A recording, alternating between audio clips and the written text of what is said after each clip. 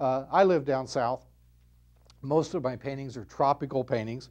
And so uh, when you see the different kinds of trees I do today, you're going to say, uh, doesn't he know anything other than palm trees? And we certainly are going to start out with at least, um, uh, but I, will give the Yankee trees some, uh, I'll give them a little attention too.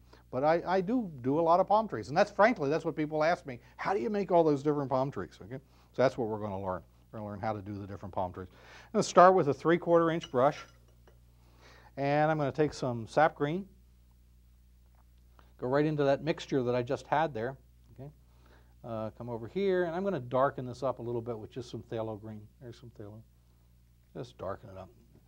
And I'm going to do this tree first. This is called, um, this is done with a flat brush. This is actually a banana palm type of tree. Um, and I'll just show you how to do it. It's real simple. Let me do it right here. Okay.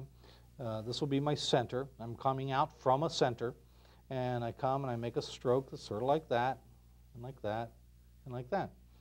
A little bit of the paint off of there, and we come and make another one. And like that, like that, like that.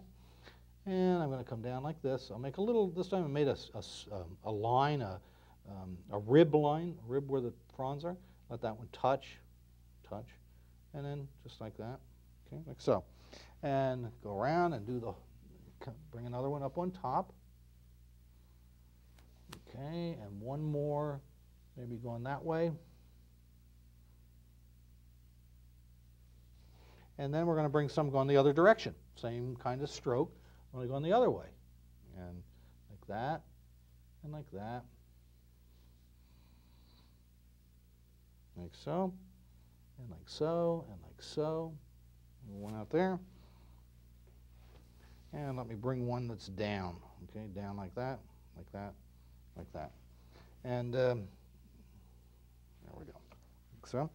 And now I'm going to put the um, trunk in. The trunk, I'm going to use the red gold lake, red gold lake, and a little bit of burnt sienna. And just a touch of the green in there. Get a little bit of the green. There we go. That's good. All right, now we'll just come over here and I'll make the trunk. I'm going to let it just come right into where it's all. This is still wet up here. Let it join and then come down and just come down like this and like that and like so so and that's pretty good like that let me get a tissue I'm going to lay a tissue over the trunk and just hit it sort of gently with my finger I, I press but sort of gently that gives it a little bit of a ribbed look then I'm going to take my scraper and do one last thing to it I'm going to give it some what are called boots I'm going to drop a little more color in there. Hold on. Come back, re-wet this. There we go. Okay. I took up too much when I pressed before. There we go, that's better. All right, now I'm going to come with the boots. Watch this. I'm actually just pushing paint to the side. The boots are where the, as the tree grew, the fronds broke off over the years, and they get this kind of a look to them. Hmm? So there's palm tree number one. That's done with a flat edge brush and with, uh, it's, it's, it's, basically a, uh, would be a banana type, uh, banana frond.